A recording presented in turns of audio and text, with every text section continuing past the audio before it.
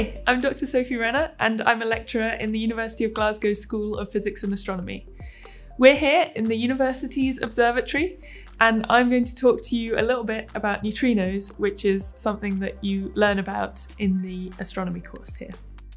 I'm going to start with a very basic question, which is why does the sun shine?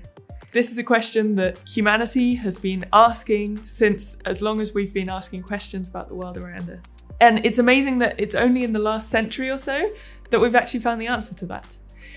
And the answer is that inside the core of the sun and all stars, nuclear fusion reactions are happening. The temperature is so high and the pressures are so great that nuclei of hydrogen atoms can fuse together to form nuclei of helium atoms. And this process releases energy, which powers the star and reaches us here on Earth as light and warmth from our sun. But energy isn't the only byproduct of this nuclear fusion reaction. Tiny particles called neutrinos are also produced. Neutrinos, as the name suggests, are neutral and they barely interact at all with other matter. So while the energy that is produced in the center of stars takes a while to sort of filter out through the layers of the sun before it can reach the surface and be released as light, the neutrinos just leave the core immediately as soon as they're produced, traveling at almost the speed of light and travel out through space. So they're reaching the surface of the Earth all the time and they're completely invisible to us Solid rock is no barrier to them, so they just pass straight through the Earth and anything else in their way. In fact, 100 trillion neutrinos are passing through your body every second. So, how do we know that they're there? With light from the stars and the sun, we can just see it with our eyes or with telescopes. But with neutrinos, it's a lot harder. We need them to interact in some way with our instruments, which only happens very, very, very rarely.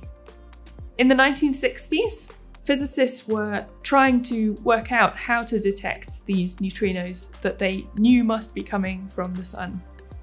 And in the Homestake mine in South Dakota, they built the first experiment that was capable of detecting these things. The experiment was a giant tank filled with perchloroethylene, which is a common dry cleaning fluid. And this fluid has atoms of chlorine in it. And the idea was that when a neutrino passed through the tank and it happened to interact, so this happens very rarely, but some of the neutrinos will interact and hit a chlorine atom just right and produce a isotope of argon. And so every few months, the physicists extracted these handful of atoms of argon from the tank and in this way, they could count the number of neutrinos that had interacted with their experiment. But when the physicists started counting these argon atoms, they found something weird. Even accounting for the tiny probability of a neutrino interacting with the experiment, they only counted about a third of the neutrino interactions that they were expecting. So this was very puzzling, and immediately everyone assumed that either there was some mistake in the calculations of how many neutrinos the sun was producing or how many neutrinos this experiment was expected to detect, or alternatively, there was just something going wrong with the experiment. But they continued taking data for years, this problem persisted, and they did all the cross checks they could think of, and it remained a puzzle. And it became known as the solar neutrino problem. But it turned out that this problem wasn't something wrong with the experiment. It was actually telling us something very fundamental about the nature of these neutrino particles themselves. It was already known that the electron had two heavier cousins called the muon and the tau. And these particles are exactly like the electron in every way except that they're a bit heavier. And so it was thought that perhaps the same thing was true of neutrinos. Maybe there were three copies of neutrinos. And in these fusion reactions in the sun, only one type is getting produced, the so-called electron neutrino. And so only this type was being detected by the experiment in the Homestake mine. That was the only type it could detect. That was the only type anyone thought it needed to detect. But people started to wonder maybe if if these neutrinos were changing their form changing from one type to another on their journey from the Sun to us, maybe that could explain why some of them appeared to be going missing. So, to test this theory, newer, bigger, more sensitive neutrino experiments were built.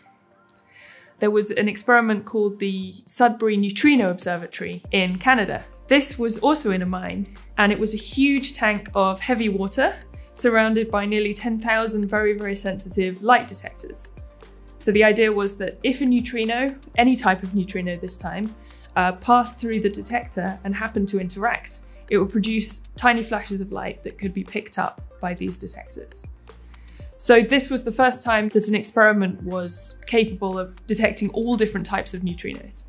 And when they counted the number of neutrinos that were arriving from the sun, now it matched with what was expected.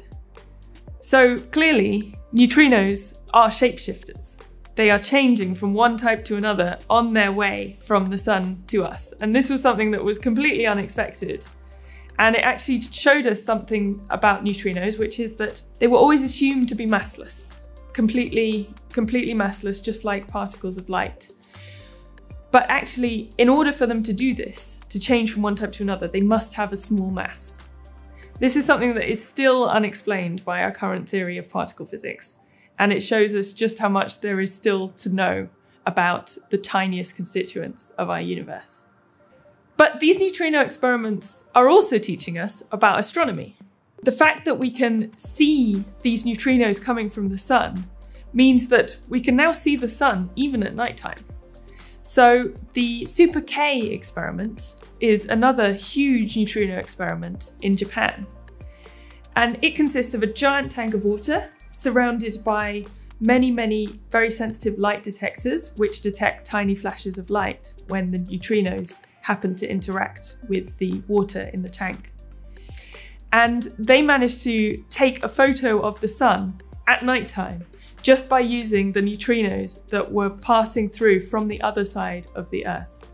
To detect neutrinos carrying even more momentum, even larger detectors are required. The IceCube experiment uses the ice of the South Pole as the experimental material. So deep under the ice, thousands of light detectors are distributed over a cubic kilometre of ice, so that anytime a neutrino hits the ice, these light detectors will be able to see that neutrino and even determine the direction that it came from. IceCube isn't looking for neutrinos from the sun. It's actually looking for higher energy neutrinos from outside our solar system and even outside our galaxy. And this means that IceCube can explore regions of the sky that can't really be understood properly using only normal telescopes. A few years ago, IceCube discovered a new source of high energy neutrinos. It saw a neutrino that was coming from a supermassive black hole at the center of a galaxy about 4 billion light years away.